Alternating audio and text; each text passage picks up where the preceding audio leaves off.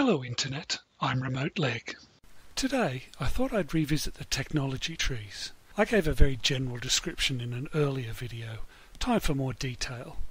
Okay, a quick recap. There are three research categories, weapons, energy and high tech. We research all three categories in parallel, but we can only research one from each of these three at a time. This means we can work on three research projects at the same time. The question, what to research? This is weapons. I recommend that you decide on a weapon type you like and specialize in it. Ships hold a limited number of weapons, so it's better to put on a few high quality weapons rather than lots of low quality ones.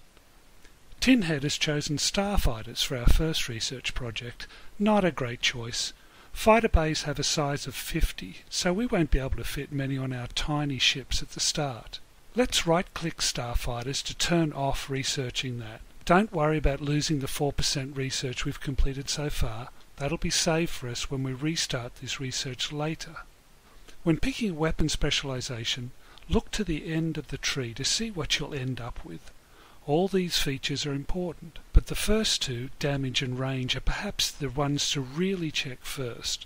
I like to go for long range because short range is no good for bases. Bases can't move, so they can't advance to get into range if the enemy fire from a distance. Your defense bases won't be very useful if they can't hit their targets. We start knowing beam weapons. They allow us to build pulse blasters, which are pretty crappy at level 1, but are great if we research all the way to beam superflow at the end. To get there, we research in this order. We already have beam weapons, which is a bonus. Next we research enhanced beam weapons by left clicking on it. Notice the little 1 that appears in the top right corner to say it's the one we're now researching. Enhanced beam weapons lets us build the Maxos Blaster. To get this benefit, our ships with pulse blasters will need to be retrofitted to rip out the pulse blasters and replace them with these shiny new Maxos blasters. We will need to design some new ships.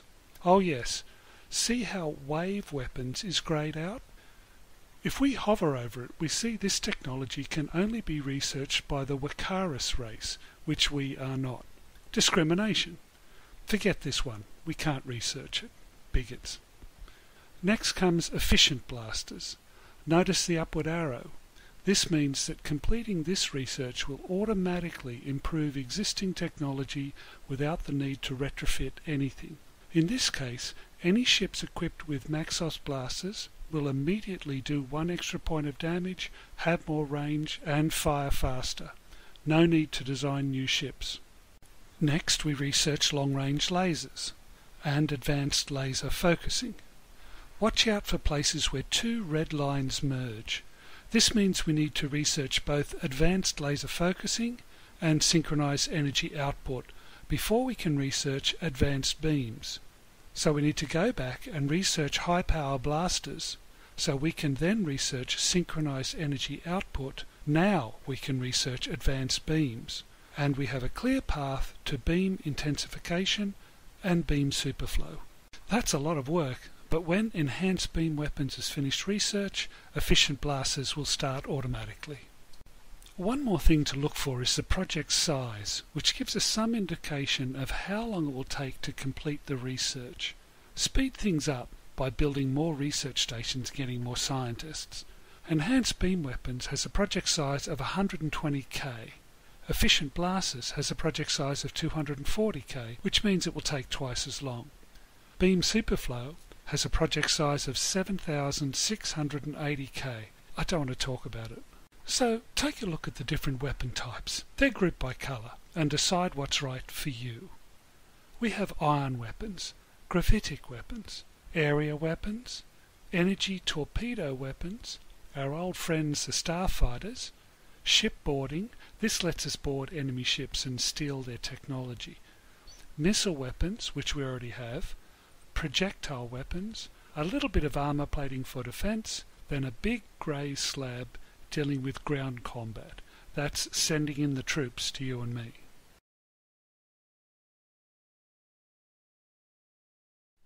Okay, let's take a look at energy now.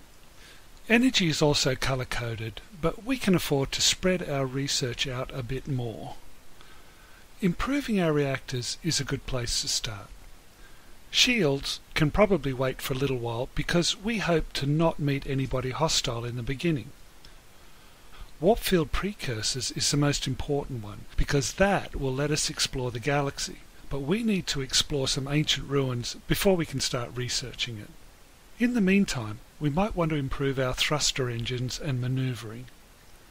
Mining starts out at a decent level, so I think that can wait. Energy collection is very important, so I'd give this one some priority. Orbital assembly will allow us to build bigger ships, so we want that too. So we've gone from weapons, where we want to concentrate on a specific type, to energy, where we want pretty much everything on the board. Time to make some tough decisions. Personally, I would start with energy collection so we can put collectors on all our bases. This stops them needlessly burning fuel, which means our freighters don't have to keep topping up their fuel tanks. I'd also work on the reactors to improve power to our ships and thrusters to make them go faster. These last two are with the proviso that we immediately switch to warp field precursors when possible.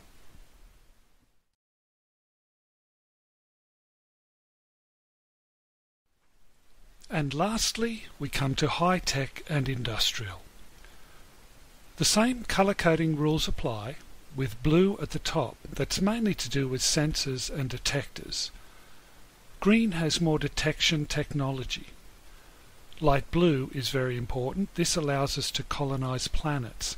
But these are big, expensive projects, so they take a long time to complete.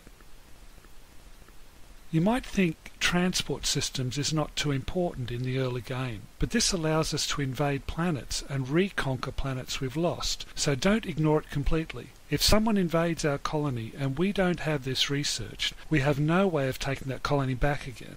Storage is good, better cargo storage and fuel tanks. I'd go for this at the start. Improved docking bays can probably wait. Here are some paths for keeping our people healthy and happy. Research is very big.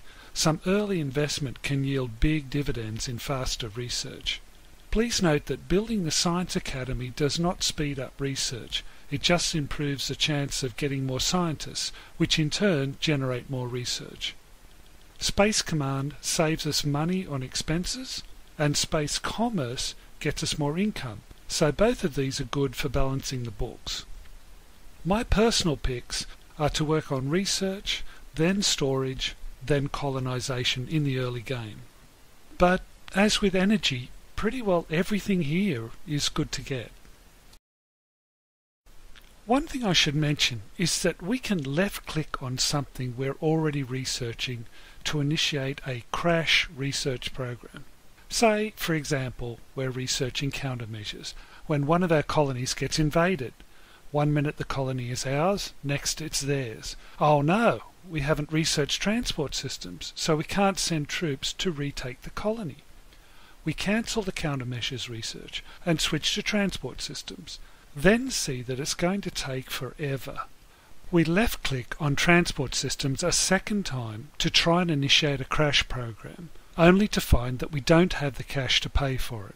Crash programs cost a lot of money and triple our research speed, but it still takes a long time. Of course, we still have to design and build troop transport ships after the research is complete, and who knows what unspeakable war crimes are going on in our colony while we wait.